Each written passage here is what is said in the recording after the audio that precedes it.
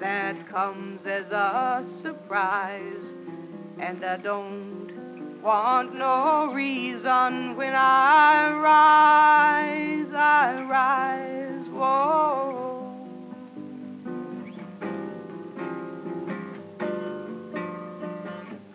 I go to work in the morning when I rise. Will I ever get away from prison ties? Well, it's four long years of living here and nobody to shed a tear, and that's just one less reason now to rise, to rise. Oh, it won't make much difference when I leave. When a heart is stone locked up, there is no breeze.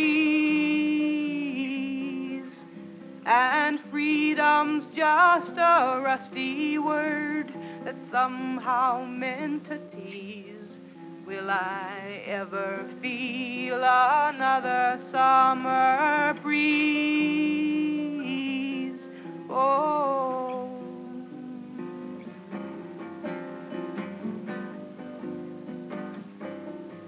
Well, I wish I had a reason now to die. I haven't got the salt for tears cry. I am a stone that was a bird. Oh, will I ever fly? And when I get my freedom, will I cry? Oh, Lord, will I cry? Mm. I don't want no reason when I rise. I can't have my freedom when I rise. There ain't nothing in the morning that comes as a surprise, and that's just one less reason now to rise, to rise. Whoa.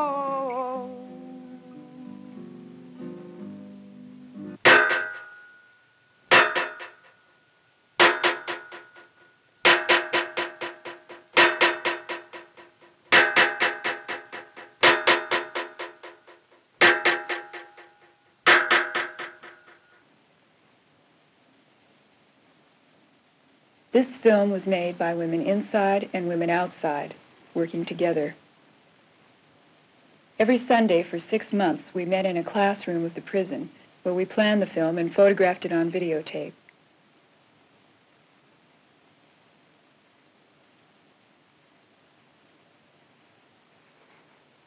Everyone operated the camera, and the songs were written, performed, and recorded by women inside.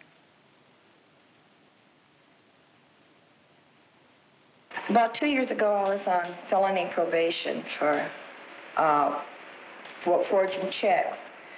And uh, I had an offer for a job working for Crescent Jewelers in the executive offices, working uh, is more like a receptionist to the president.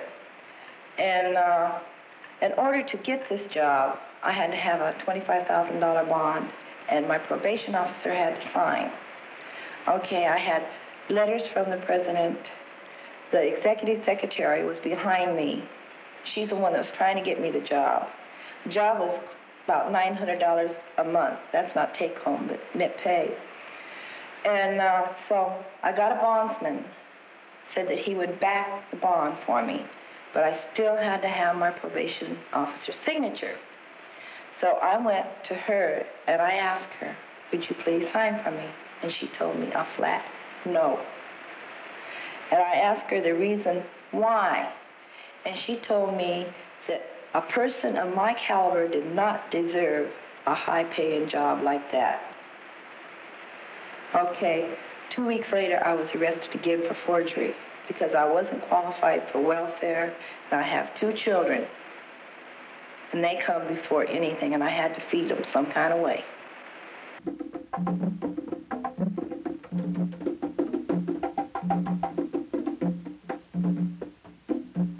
Know, most of the black women, the majority of the black women in here come from, you know, the ghetto.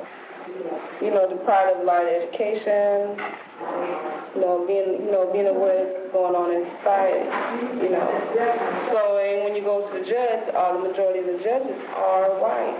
And if you're by jury, like I was, your peers, they're white, you know, and so, you know, deep inside you have a lot of guilt, you know, grudges, you know, against, regardless, even if, you know, I have quite a few white friends, you know, but even, they're just so far that they can go. I can see that it, it's, I think, a romantic attraction to substitute a heroin problem for a- any other problem.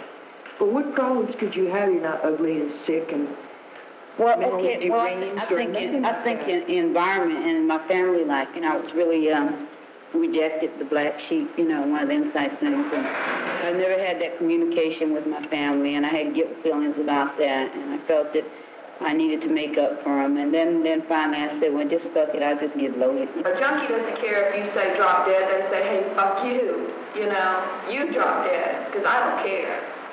You know, because that's all they care about is that getting that bag, man. That's it. That wraps it. That's your world. This is it. You know? And when all of a sudden, when all you can think about is scoring, copping from the man, and getting your connection, then you don't care if Nixon's fucking up, and you don't care what's happening in China. You don't care. when, when they put me on probation, and when I was in jail for three days, I realized how much I had been using these pills. So I quit taking the pills, and I was just going to take them once in a while. Um, but that didn't work because my probation officer drops in and, you know, gives me a test every now and then. So I decided, well, I really don't need him at all, you know. But I want to go back to college and I want to learn to do this and I want to learn to do this. And I, I made up my own mind and I decided it was time for me to do it. And I could, I knew where I wanted to go and what I wanted to do, but I didn't know how to do it. And I thought that was part of what probation would do. You know, they said we're giving you this chance, you know. And I thought instead of just putting me on a leash, they were going to help me, direct me. That's what my probation officer led me to feel. So I talked to him about it, and he gave me these places to go. Then I went to the vocational rehabilitation, and after talking with them, I felt like, well, I really don't have a problem, or they can't worry about me because they have too many people with heavier problems. Because I had never been addicted to heroin, I had never been incarcerated for being addicted to heroin, or like I had never been committed to a hospital for withdrawals, or I had never gone to jail, to prison, or to a program like CRC.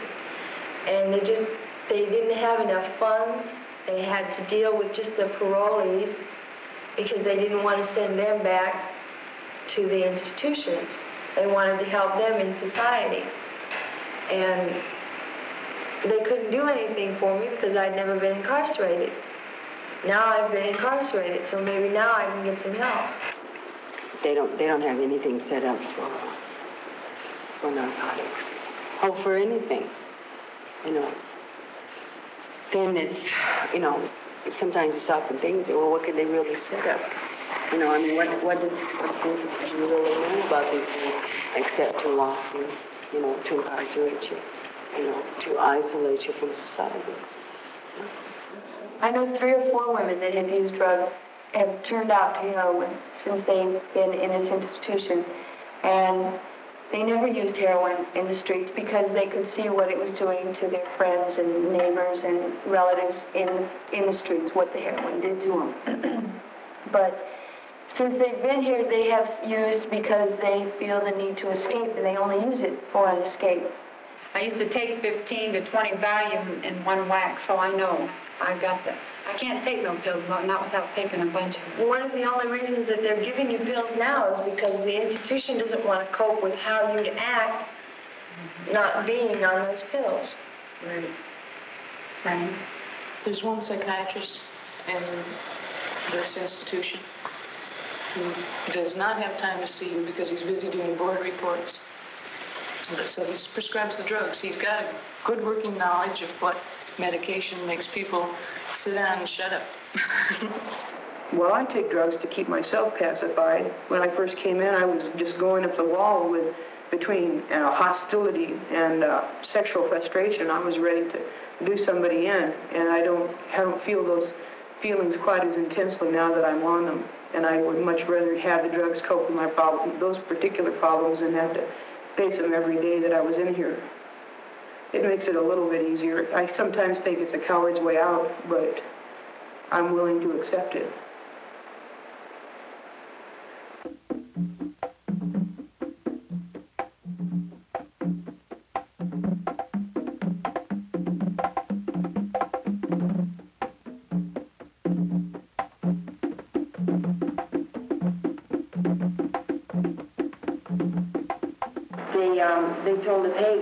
Clinic and strip those floors quick, and we were scrubbing the walls. And I mean, we worked our asses off, just for the health department to come in for five minutes, and they go, oh, they stamped a little paper for the next ten years, you know?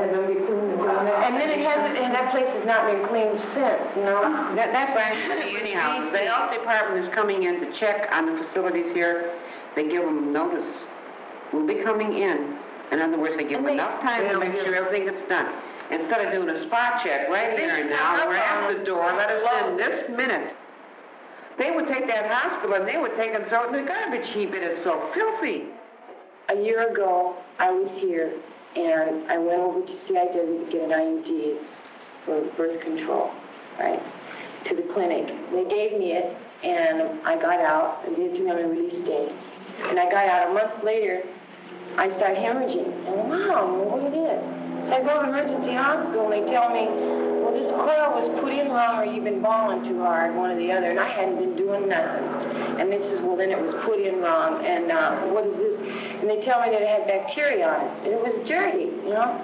And just, just the thought of it. And now I had, you know, I got abscessed ovaries and the the whole, my whole female organs were just completely mush. Just, uh, sick. I mean, I've been sick for a year. Okay, now it's all healed up. I don't have any more infection. All I have is big, heavy scars on my on the inside of my uterus and my ovaries. And now I- I'm 24 years old and have to have a, a complete hysterectomy. Okay, well, wait a minute. We, you, we got people here from the outside, and and you guys know from like women on the streets, there are certain things that this society teaches a woman that she is, and one of them is meek, mild, and submissive, and all that garbage.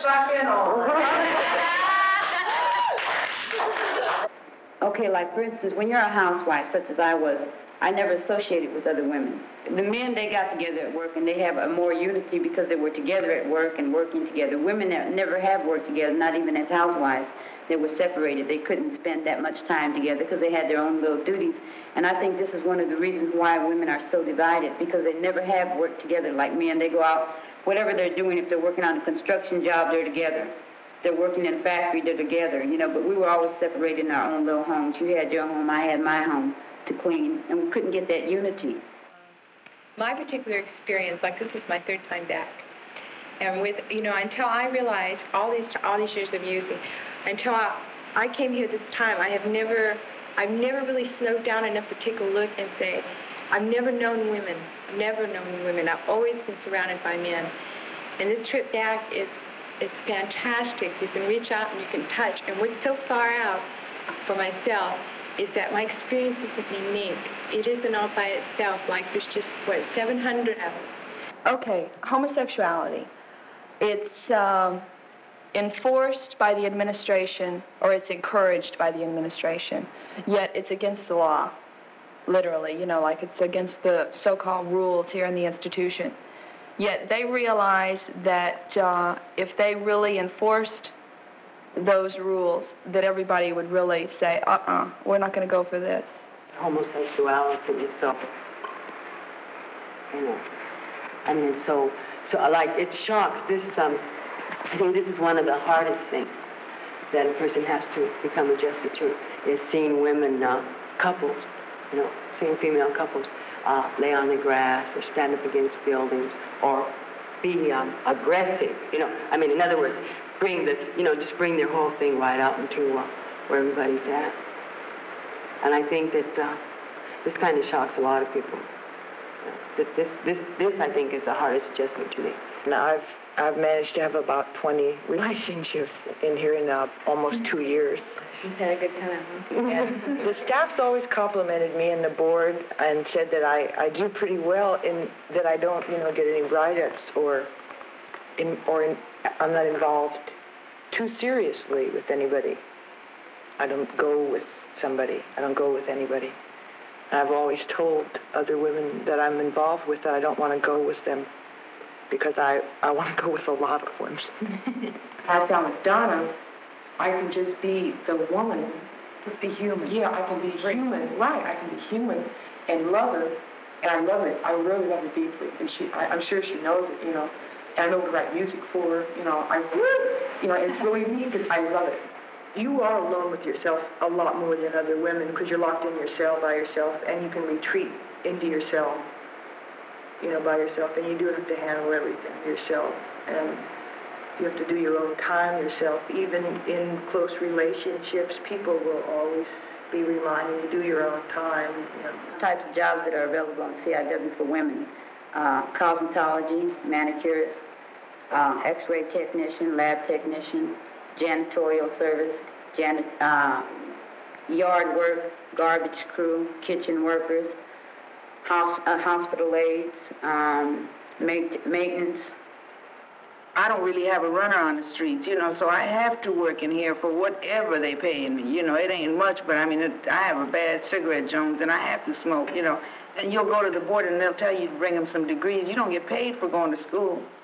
What are the wages here? No wages. None. Seven cents an hour, ten cents an hour. Um, we pay our oppressor. You know, like we pay the wages, like with our work. With us getting up every morning and going to work, it pays those people's salary that's locking us up. These people ain't guaranteeing nobody no job when they get out here. They say you do. They tell you to go sew your ass out there for an hour and that they'll have a job for you when uh, you get out. I haven't seen one bride up north that they found a job for. My friend tells me, she says, well, go to this other place and tell them you're on parole and see what happens, you know. Well, we'll call you. You know, and I knew I had the, the ability to do the job. Better than that dude did, you know. But still, No, we'll call you.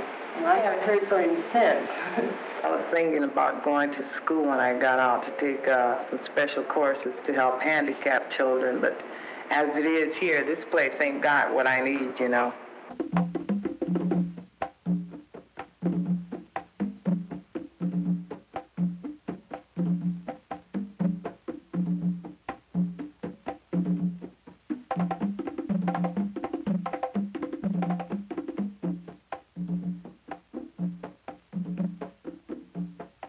They have no conception that it's 1974 out there and that women are no longer simply interested in uh, washing floors, changing diapers, smiling at patients in hospitals, working at sewing machines, or doing somebody's hair as their life's work. And this institution offers them no other alternative at all.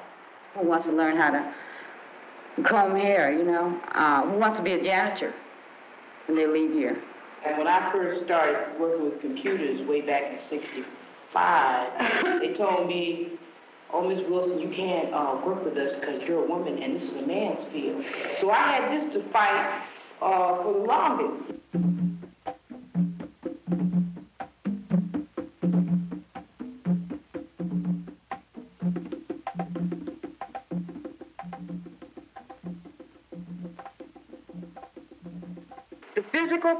CIW is gassy, but the mental, there are a lot of locked doors.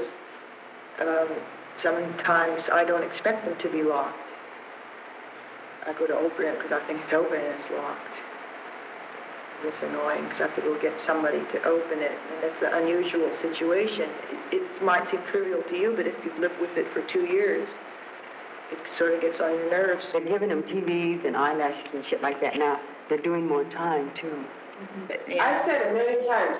Take those fucking TVs, take the makeup, take the clothes, give us back our state dress, and quit threatening us. We eat in the dining room, and like it's only supposed to be four to a table. Okay, we may push the table together, and then here come the pigs. You know, they tell us immediately. So the same day we ate lunch, there was a group of white women that pushed their table together, and he immediately came over to our table. You know, and he wanted to get our names and numbers the institution. So we, you know, we, we just we just rolled over him and told him why don't he go over to that other table. You know, he said, well, he gave us some kind of remark that uh, I already know their names and I know them. I said, well, uh, you know my name. I really have a dress and, and some thongs and some cells doors, cell doors clanging all the time. In a room to myself was toothpaste, soap, and a wash rag. And a release day. On this day, you will leave, or if you are good, we will let you go earlier.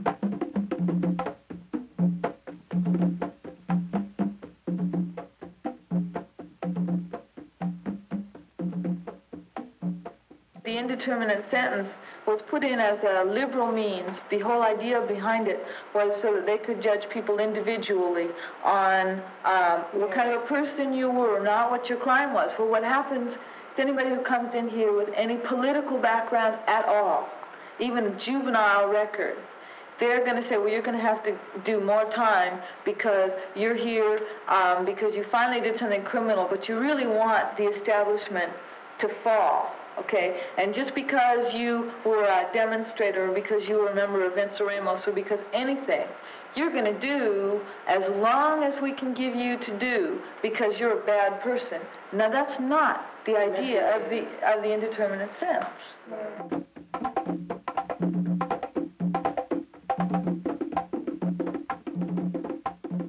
Is a drawing of panel A, and it's like it's a full board. There's six members, and it's the actual size of the room. Although I don't have it written down, it's about 20 by 20. It's a big long table. It's really plush, like a courtroom.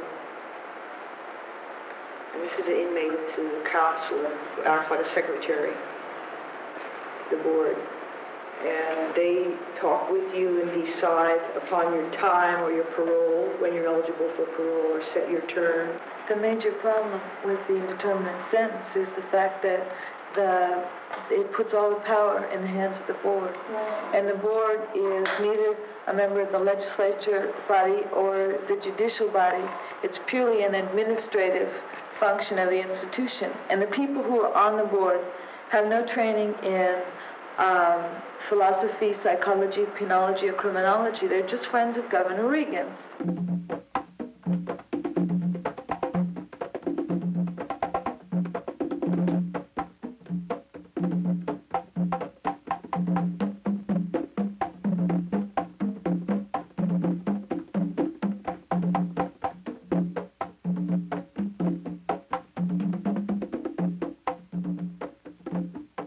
Absolutely no basis to understand uh, what time does to people and how people end up in jail. Like people end up here basically because they're in an economic straitjacket. That goes for any drug-related crime, robbery, anything. The only reason people generally come to prison is because they're economically tight and they turn to a criminal means to make up for it. Okay, when they get here, they don't know how long they're going to do, and the bench guards turn out to be the parole board, and they don't have any conception of what people should do in order to get out. Now, they've said, they've issued policy statements, and on crimes which have any violence, a lot of which carry a six-month minimum, the board has come out with a policy statement in late 1973 saying that these people will do three years or more for um, various crimes involving violence. Okay, now that is flat out illegal. The board legally can't say that, but they do, and they make us do the hard time. Behind these crimes, which have a six-month minimum, and they've just arbitrarily changed the time to a three-month minimum. They've also been able to say you have to get a divorce before you get a parole date. When you get out, you can't see your kids because we say so. The major thing that the board does is they've got a bunch of mad religious fanatics on the board. And they say, we're going to give you a year review, another year's time, after you've already done three or four, to meet your Maker, to find God. You should go down on your knees and, and ask the Lord for forgiveness. Now, that's absolute bullshit. What's the composition of the board? Just white. Just white? There ain't no Mexicans, ain't no blacks, ain't no pinks, ain't no greens, ain't nothing but them whiteys up there. Freaking talking to you like you a dog, shit in the garbage can. There's more whites in the United States than there are black. But if you take the percentage as far as blacks in prisons and white in prison, I feel that the majority would be black compared to the percentage of black in California.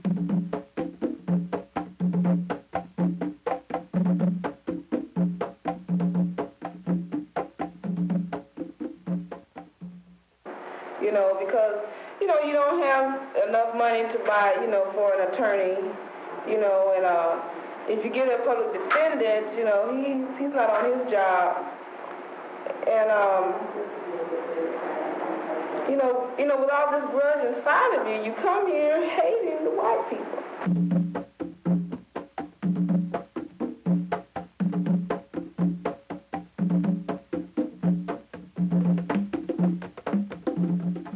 She, she told me that I was a guilt-ridden and pathetic person. I feel, you know, you know, I really don't know. You know, They see me as guilt-ridden. That means something to me. Why do they see me as guilt-ridden? Well, why do they see you that way? I, well, I feel the, the system has to make guilt-ridden people in order to function. Do you think you could cope without them? I think I did for a while. No, can you, not I said did you, I said can you now? In fact, Can I do it right now? I don't want to. Why? Because I like those pills right now, and I'm, I'm, I'm edgy right now. Well, do you think you could get your, you say you get good feelings from drugs. Do you think you could get those good feelings from some other place?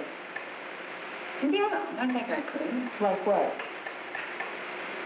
Have a little more faith in the Lord. Who the fuck are they to get up there and say, no, you can't go back to living uh, with this man or this woman or whoever you're living with, your husband, your wife, you know, whatever, that you can't have kids. They're, they're controlling you all the way down to telling her she needs Christ. Now that's getting bent down to, you know, the power of that parole board. In the beginning, I used to come out to Mass every Sunday here when I came here. And then I realized one day that the priest is passing a list to the board who goes to church and who doesn't. No, I stopped going to church. I'm an ex-parolee. I've been to that place. I know what it's all about. Listen to me. I know what I'm talking about. Well, somebody please listen so I can keep some of these kids out of there. If I have to trip them on the way in. But I mean, you get the goody two-shoes up there on a board. And, oh, not necessarily this board. Any board. Board of directors, board of any, any kind of a board. The ones that are higher up, that do the hiring and the firing. They don't know what it's about. They really do not know what it's about. I'm doing five to life. You know, so if I get, I'm doing three, you know, two five to life and a five to 15, and they happen to be running together, but should I really mess up, these people have the power to keep me here for my life. You've got to worry about is the board going to tell you to get a divorce? Is it going to tell you you've got to stay away from your kids? Some women want to marry someone, but because they haven't lived common law, when they use a little bit of morals on the street, then they can't get married while they're in the institution.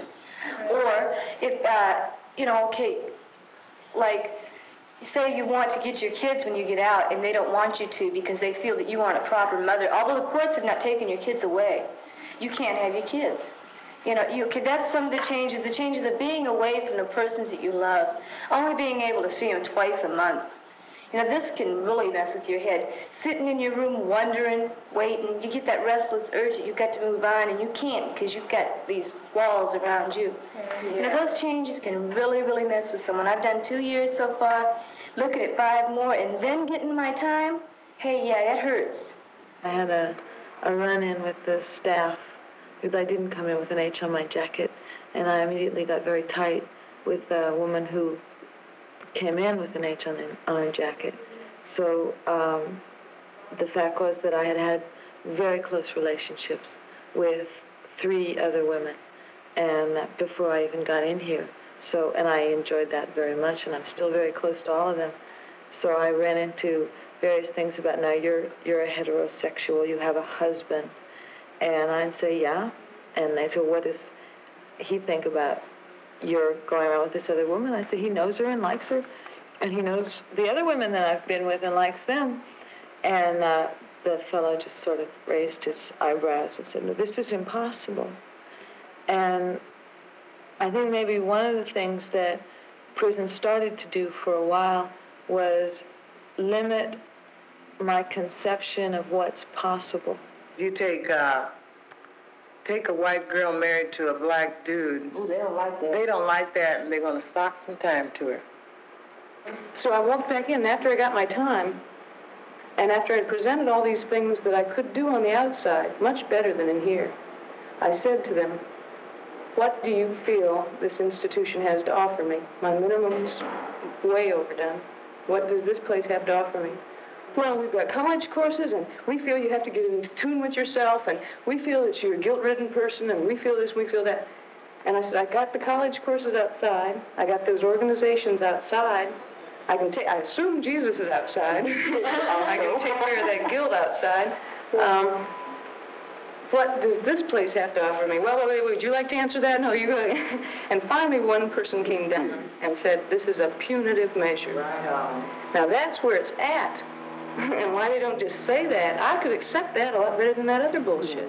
What we're doing Job is making, training making as many cases as the DA wins, he's getting another year in his position is what we're doing.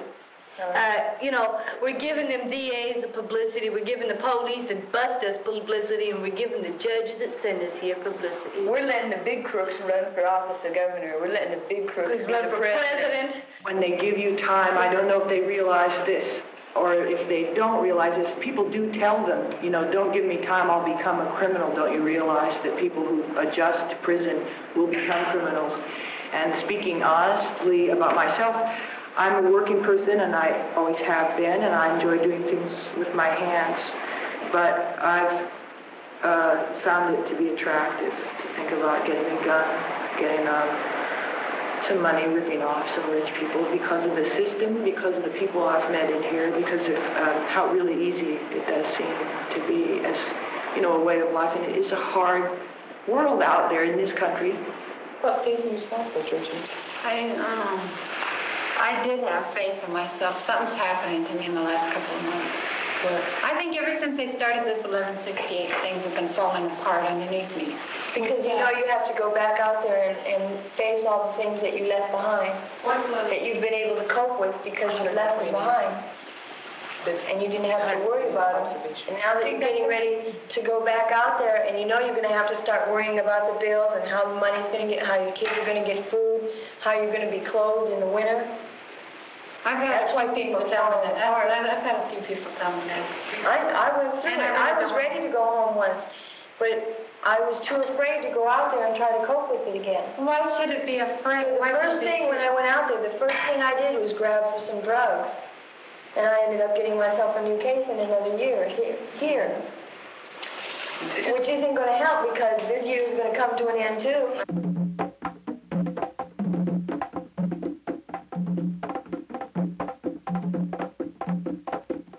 Brought up on welfare. I'm a state baby, honey. I wasn't just now been taking care of state. I've been taking state has been taking care of me ever since I was one day old. Like the state brings you in here and all of a sudden you're totally dependent upon the state. You know, for everything. You know, if they don't cook your meals and uh, open that door for you to eat, you'd sit in your room and wait and wait and wait, you know, uh, for food. Like the laundry, if you don't get your laundry together, now they have it so you can take your own over there, but there was, you know, like you would sit and wait, and if they didn't do all these things for you, then, you know, you'd never, you never get them done. And, and I think that subconsciously that they gear your mind towards having this all the time. You know, that um, you don't have to worry about about your meals because you know someone over there is going to cook. You don't have to worry about clean sheets on your bed because you know somebody's going to wash. You don't have to worry about anything. You know, but consequently, it makes you too dependent on the state. And we feel that, you know, she's just a great big arm mother. And uh, the bear, the woman with the bear and the helmet. you know. you know, and there's there's really no warmth from her. There's no sincerity. There's nothing, you know, and they totally destroy a person. And since I've been here, I've written about 30 songs, and they're getting better and better. And, and I just know if I was on the streets, I would be taking drugs.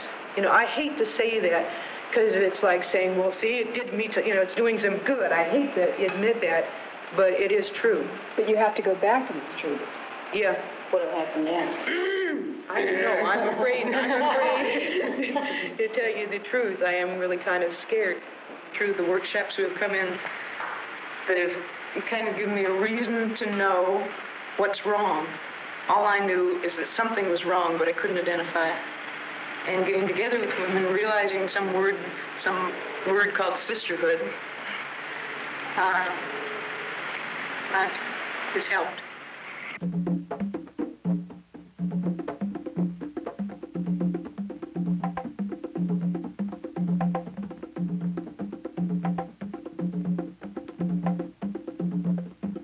They do is they give you a teetotal picture of the whole United States, of the whole fucking system, really. You know, how it is, how it affects us, the things that it does to put money in this one's pocket and consequently taking away something from me or somebody else like me, you know, or like all of us, you know. It's um, like if they build a shopping center, okay, maybe it's an area that would be a park for children, everybody's kid you know, but now it's gone to put money in somebody else's family. All these workshops that really have influenced me. I wouldn't have thought about going to school because I'm afraid of competing with teenage boys that won't like me and teachers that might not like me and feeling that I really don't belong in school. And yet all, all of the women that come in here have, maybe it's not true, but I think that, that that's where what school's like. There's a lot of those kind of people. And the men they bring in too are, are nice too. They don't seem to resent my getting an education. I'm making an appeal that I hope that whoever's watching this tape would, um, some of the Chicano sisters out there, Chicano dudes, black dudes, black sisters, would Puerto get together. Ricans. Puerto Ricans, Indians Oh, would all Indians, get you know, any, any minority group. Would all get together and try at least to bring in. Jews, right on.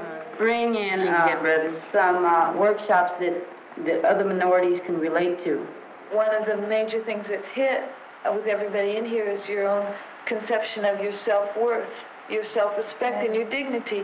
And if you're doing what you want to do and you're proud of what you're doing and of the way you move in the world, you're a headache to the administration. So sure they want to have you washing floors, sewing ancient shirts, you know, this kind of thing. And it's, it's to their advantage to keep us doing bullshit work. Yeah, this place is so, it's unbelievable. This place will make you or break you. Yeah, that's about the size of it. Me being a, a woman, a dope fiend, gay, and a minority, yeah, I got, I know I'm gonna have problems, you know? And since I couldn't cope with all of these energies inside of myself that saying, look at all this stuff and you're not doing anything, I was a junkie. You know? But you know- Until now when I'm realizing that, hey, I'm a strong woman. If if you really come right down to it, all, I think everybody in the penitentiary is, is, is a potential leader, you know, because we are in here for doing things that, that, uh, yeah, or, or even if they do, it's not every woman that does it, you know. So, but we've just been channeled in the wrong, as far as they're concerned, wrong direction, you know. But if we had applied ourselves in, in things that we could or wanted or, or can do, you know, there's no, no limit to what we could, you know. We stepped out of our places.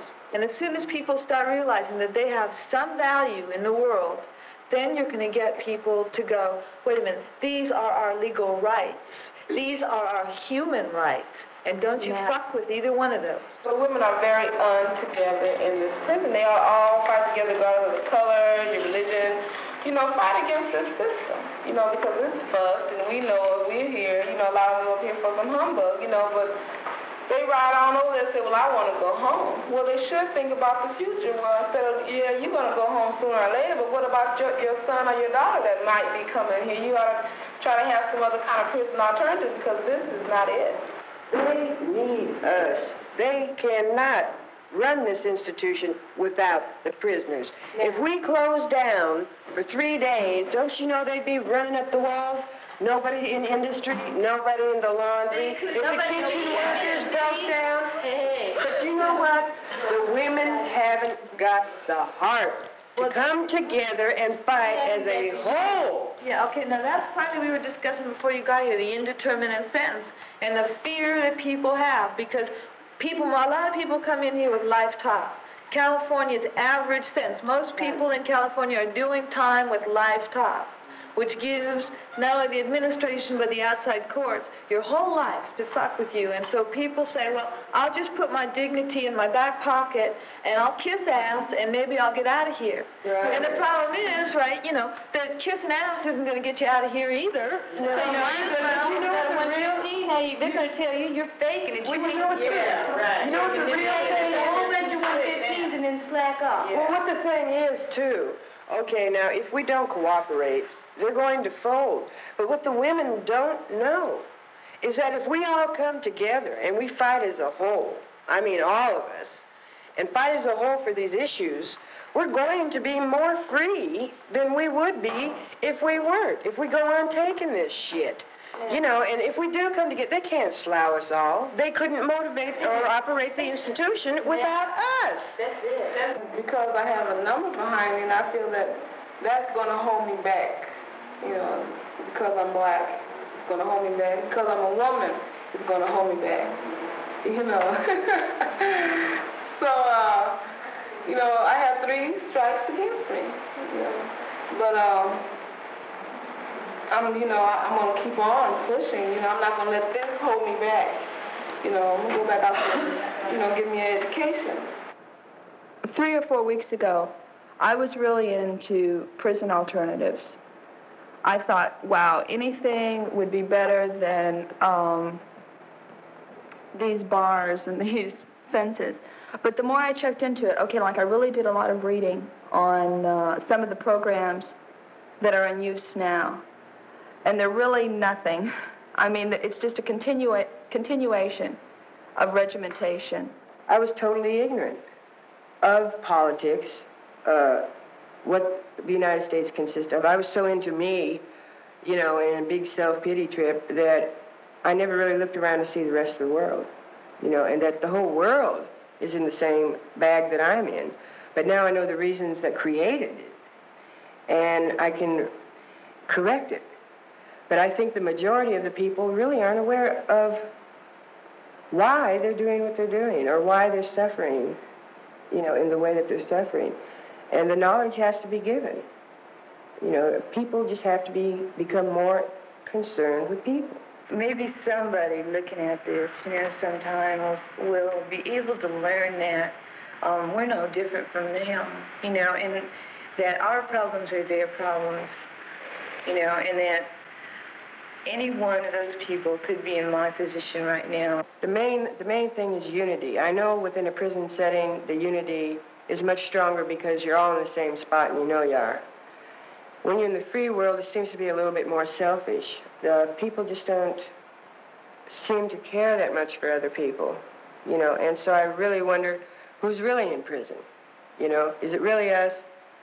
And uh, it all boils down to concern. You know, the whole the whole country has to be concerned for each other. We can't place nobody above or below. You know, when you reach a hand out, you don't look at the hand first, you know, to see what kind of hand it is. You just grab a hold of it and pull them up. You have to realize that prisons exist. Uh, you have to realize that there's a lot of people out there with no education that have not had the opportunities to better themselves, that want to eat, who don't want to stand in welfare lines because that's been downed for so long. You know, um, who thinks that it's a matter of pride, you know, that they can't take anything from anybody else because that's part of the bullshit that they've brainwashed into us. And, you know, like to have a socialist revolution, you'd have to organize, you'd have to realize that these problems exist. There are prisons. There are people who go to prison because of economic reasons, like 95%. You know, and uh, so if you want to get rid of prisons, you know, you've got to start organizing in your own communities and change society.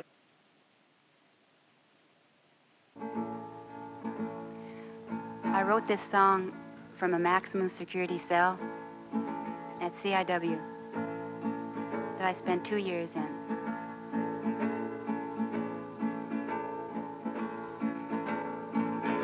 Warmer than warmest,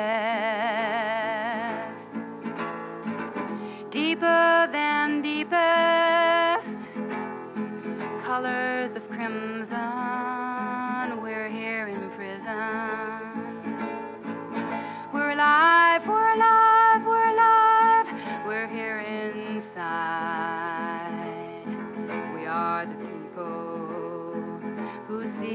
Lives.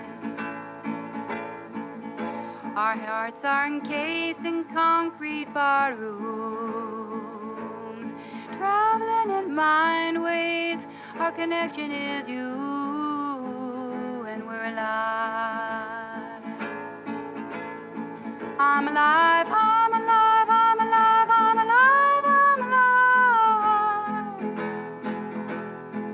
I didn't die.